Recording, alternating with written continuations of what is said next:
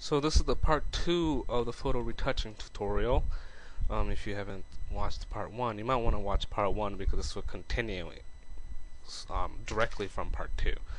Now, in the previous tutorial, we touched, uh, retouched her lipstick, her um, eyeshadow, and obviously her eyebrows. Um, and we were going to go over just um, hair dye today um, on this version.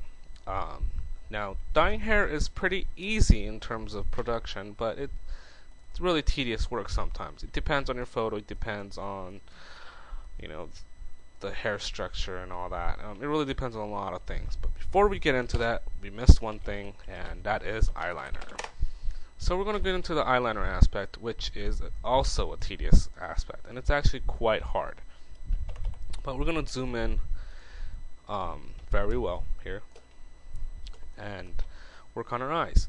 So we're going to get a number 13 on, on my photo anyway. Again, it all it's all different with everybody. It kind of colored the underneath of her eyes. Now we don't have to do the other one because you can't really see it. Now, again, I'm not an expert at it, but bear with me. It's just to show you an idea of possibilities. Um, again, we want to work with the color blending um, blending mode maybe for this one and uh, you know it might not really work out too well as you can see. It just looks a little funky. So we're gonna try other ones um, for intense overlay. Uh, maybe overlay won't work.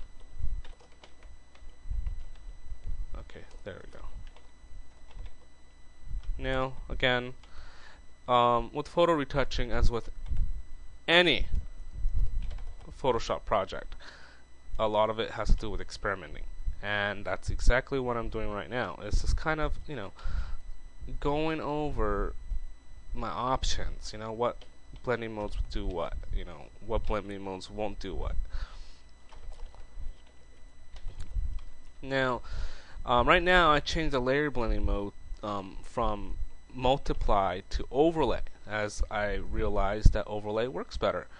Um, you know, a lot of depending on photos, but you can see, um, from close up, it kind of still looks.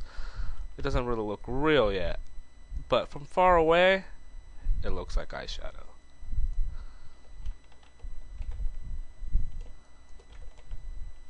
There you have it. Now, you might want to kind of change up the opacity a little bit. Um, let's see. There you go. Now she has eyeliner. As you can tell the difference, before, after, before, after.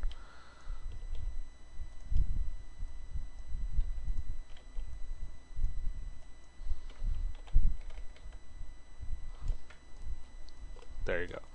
Now, for the big task um, of working on hair dyeing. Um, it's not a big task, really. But we're going to color her hair. And to do that, we're going to get a good, fairly sized brush. Again, depends on your photo, but we're going to try to mimic this um, real hair dye that she has on in her hair. And so what we're going to do is get a red color from from the foreground or whatever color you desired. Doesn't really matter though because you can go back and change it and we're just going to color her hair like that. And as you can tell, just coloring, coloring, coloring.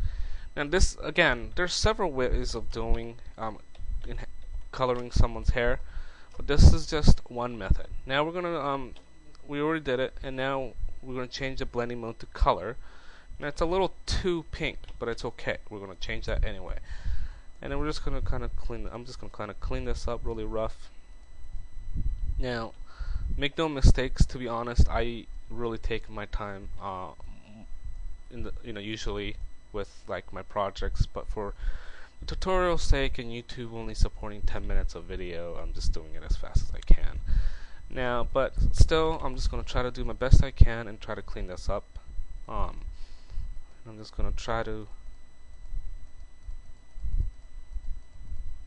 make this um, color it in as real as possible. Now we don't want to color that part of her hair, so delete that. And you know, again, I'm just doing this all by mouse. Um, it would be really convenient if you can use a Wacom tablet, if you have a Wacom tablet, but I'm just doing it by mouse because I'm just a little Um, you know, I'm a little lazy to use the Wacom tablet at the moment. So now we're going to go into hue and saturation a little bit and kind of change it up. Now again, before it was a little too reds and uh, so I mean too pink, so I'm going to go over just um,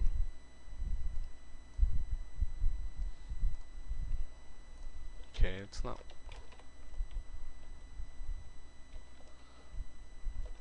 Okay, so maybe color overlay works better. Color or overlay, it really depends. But overlay overlay is looking better right now. I'm gonna change the fill color again, um, just to try to blend in a little bit more. And as you can see, it looks it's starting to look real. It's starting to look like a part of her hair, but it's not matching the color of her tip of her um, hair. So we're gonna go in and kind of try to change that as best as possible.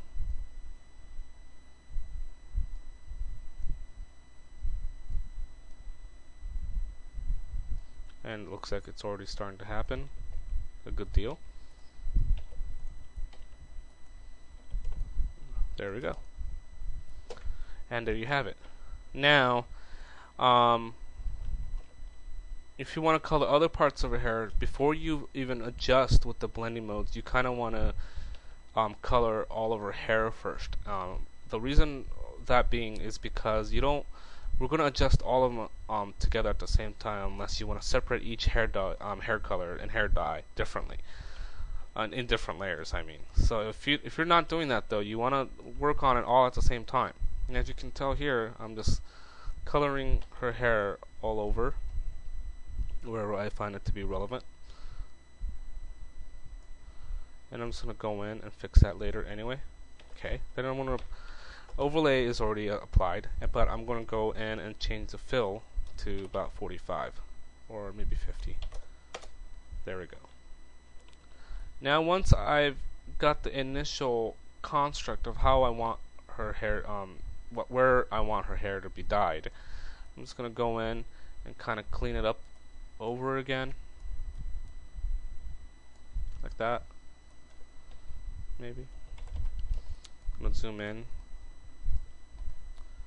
kind of clean it up.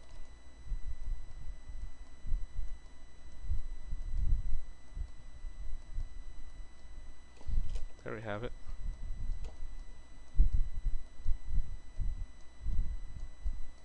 Okay. Now, what do you think? Pretty convincing?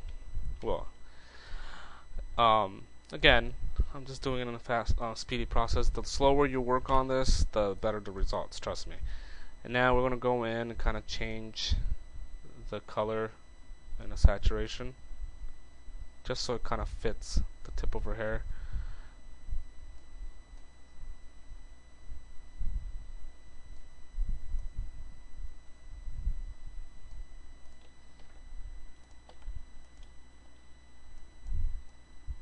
Erase some parts. Really getting in there and cleaning it up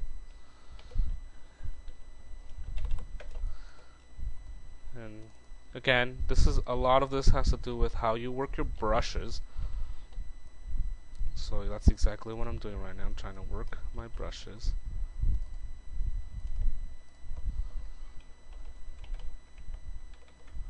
There we have it. Now we applied hair dye. I mean hair dye to her hair um, trying to match as best as possible on the tip of her hair here. And that's basically it. Um, we just got it going. Now, um, the next step on this tutorial is we're going to try to work with the photo and kind of adjust, uh, make it more, you know, pop out a little bit. And on the third part of the tutorial, I'm just going to show you exactly how to do all that. So stay tuned.